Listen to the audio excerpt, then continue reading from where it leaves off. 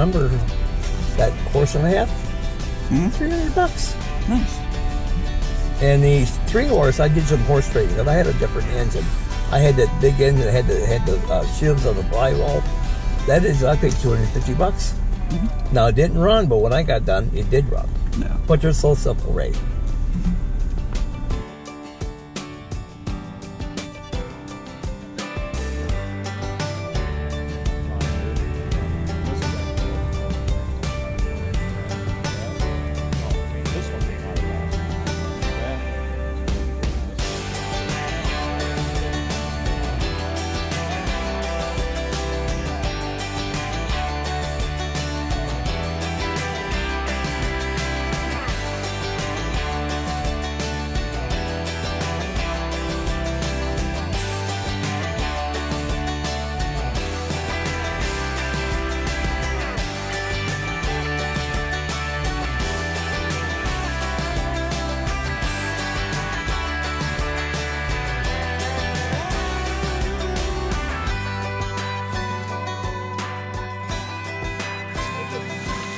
It. Oh my gosh.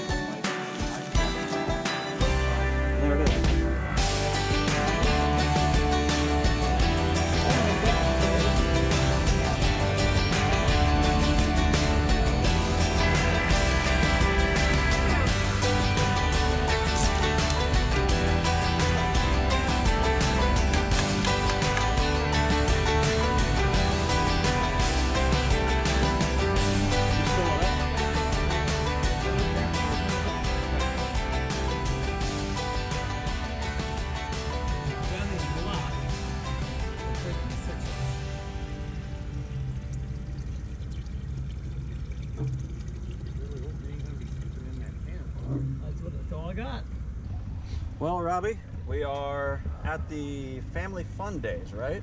Fa- Fall Family Festival Fall Family Festival of the Octagon Barn. of the Octagon Barn, and we're here in Gagetown, Michigan. Yes, sir. Fantastic. Uh, can you tell me about your engines a little Yes, bit? Yes, I may. Okay, the engine right here, folks, is a 1925 Fairbanks Morse Z 6 horsepower. Okay. It runs on gasoline, but it actually can be started on gasoline and it, can, it gets converted to uh, kerosene. yeah. The engine over there to the left of it was built in 1920. That's a horse and a half Fairbanks Model Z. Yeah. Same thing, just smaller. So these are both Z engines. Yes, they are. What does the Z mean? Uh, th- that's their trademark open crank, uh, thr- throttle governed. Okay. And the open crank just means you can see the crank right You here? see all the innards and everything. Okay, perfect. Now the ZC engine, they went from open crank to enclosed crankcase. It had an oil pan. Open crank to enclosed crank? Yeah, and it had an oil pan. The engine could be run unattended. Oh, I see. See, these two you can't walk away from them running. You gotta, you kind of, kind of babysit them. Okay, when you say babysit, what do you mean? Well, you, you got to be with them. You know, I can step away to go, you know, use the bathroom and stuff, but Yeah. you, you don't want to run have it run unattended. Okay. Because if you forget to oil it, you can cause problems. If you let if the water boils off, you can overheat the engine, and the overheat they could damage the engine quite easily. Okay, so these need uh, these need fuel, and then they need oil, and you have to oil a bunch of points on those. Yeah, there's let me see. There's uh, on this engine here there is six greasers with Yeah. cup grease. There is this is an oiler. This drips in by a pipe on the top of the cylinder, Yeah. and as the piston goes by, it lubricates the rings and the piston. Okay. And that's got a drip oiler. We set it for eight drops a minute, Right. and that's constant loss. Okay. Now, when you say constant loss, that means it runs out. of Oil just goes and- all over, yeah. Okay. Now my horse and a half, I got an old uh, uh, coffee jar, a plastic coffee coffee jar to catch the drippings. Yeah. Now this one here, unfortunately, just goes all over. But uh, see. Now the the the, the three horse is quite different. Uh, instead of a standard spark plug ignition, it has a, igniter. Uh, inside the head, there's a device that has two points. They're connected by linkage, and as, as the engine comes up to top dead center, the points open, and that makes a spark. It has low tension ignition system. It What do you mean by tension? Is that Okay, instead of a high tension, high voltage mag, it runs basically, you can run it, e- either run it on a dry cell battery or a bicycle type generator. It does not need, need high voltage to run them. Oh, okay. Okay. Now, all three engines are throttle governed. They are not hit and miss. They hit every time. What's the difference between throttle governed and hit and miss? Okay, thro- hit and miss, the engine starts. It runs, and if it's and it, it, it runs, and when it comes to speed, a mechanism lifts the exhaust valve off its cam, and it coasts. Okay. It slows down, and when it gets to a certain RPM, the, the mechanism will unlatch the valve, and the engine will fire like a regular engine. Oh, okay. So in a hit and miss engine, you've got a governor, and that governor is opening and closing based on how fast the engine is going. Exactly. And then if it gets too close, then it'll fire and then speed Right. up again. Now, when you put a load on that engine, yes, but you put a load on the engine, the engine will, will start hitting more often. Right. But the thing with hitting this, uh, uh, uh, other equipment's fine, but if you have to use a generator, it does not have a steady speed. Right. Now, these engines being their throttle governed, they have a very steady speed for power generation because the frequency of your power system depends on the RPM of the engine. Right. And these and, and these engines are quite accurate in the in RPM deviation. They're pretty close. Okay. So, So a hit and miss engine, they'll be speeding up and slowing down and speeding up and slowing Correct. down. But these are going to be at a pretty constant all the time. speed. That's correct. So. All right. Okay, well, I'll show you a preliminary preliminaries what we do here. Uh, I could point out the parts. Okay, this is a, this is the valve units. Okay. The intake valve, instead of having a, a, a rocker arm, is atmospherics. The suction from the from the pressure from the from the piston will literally go like this and open the valve. Oh, so this will have suction on it, Right. And then it'll draw this in. Right now, the bottom thing is the exhaust valve. Okay. Now this is a mixer. This thing here is a starting tank. Right. What you would do is put a quart of gas in there. You'd open that needle valve one turn. Yeah. You would start it, let it run for a while. Then you take this hand and this hand and wean it off from gasoline to fuel oil. Because the engine actually ran on kerosene. So you're closing this valve and opening this one kind of at the same time? Yeah. Okay, well, we got that. This is a spark plug. This is an interesting spark plug here. This spark plug is, is a half inch pipe thread, Really? and that saved money on, on manufacturing the spark plug. And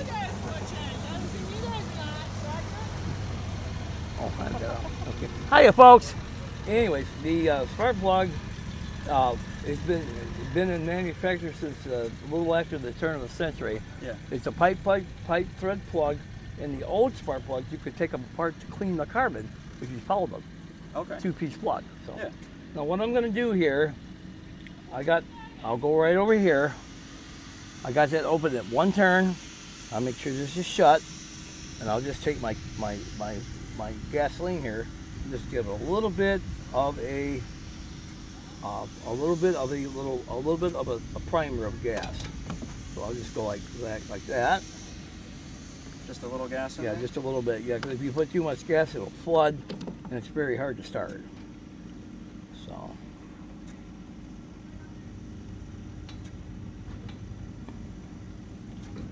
Okay. There we go. I'll put that back in. And this is something you pretty much have to do every time, right? Yeah, no, if it, if it had a, the proper magneto, I w- I wouldn't have to do that.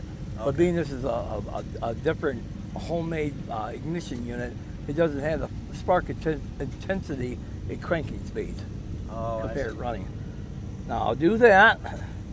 I usually go like this, gotta make sure they're working. Make sure this mixture needle is shut.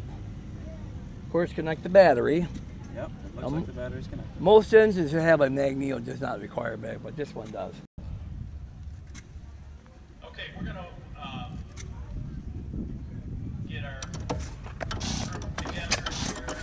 Okay, I got it started.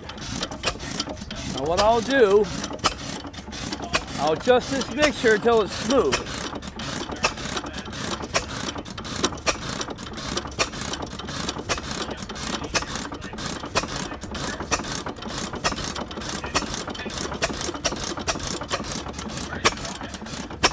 We'll let it run a few minutes.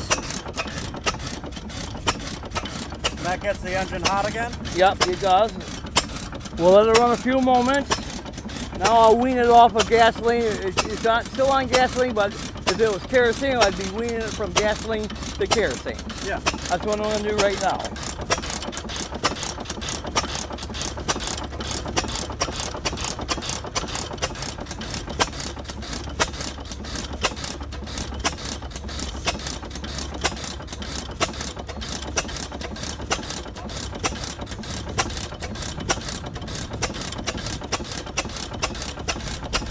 Then I turn on the oiler.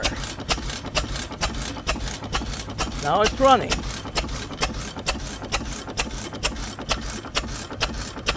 Out of the age of the engine, it's running about 200 RPM.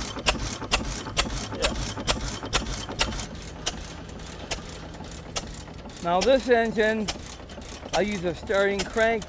The Magneto has an impulse coupling to ease the aid of starting. Yeah. Now what I do,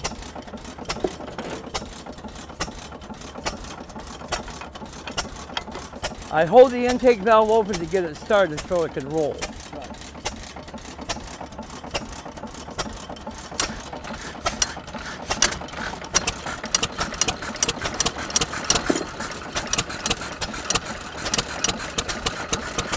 And that's that. That was easy. Yes. It's running at about 400, it's running about 300 RPM. Yeah. A little faster.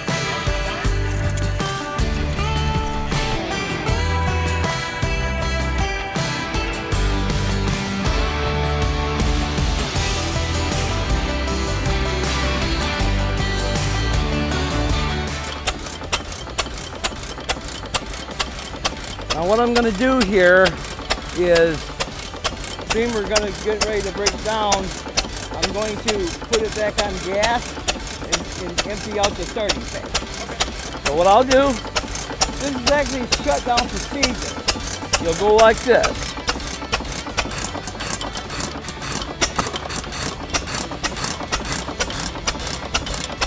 Okay. So now it's running just on this tank? You're right. And when it stops, because I, I don't like to use lead gas because the gas is not very good, it'll go bad. Now we'll, we'll run the six horses it runs out of field and I'll do the tearing it down. But that's how you do it. Does this have the same starting tank type as that one does? It does. Yeah, it's a smaller one over here. Yeah, I see it right there. Right there, yes. And the fuel tank is underneath the engine. But my friend and I are going to make a new fuel tank for the six horse. Oh, you need a new fuel tank for this one. This one's fine.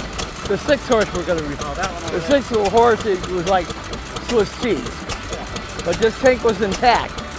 When I bought it, it had no fuel in it. It was clean. Yeah. So now basically what we do with this, shut it off.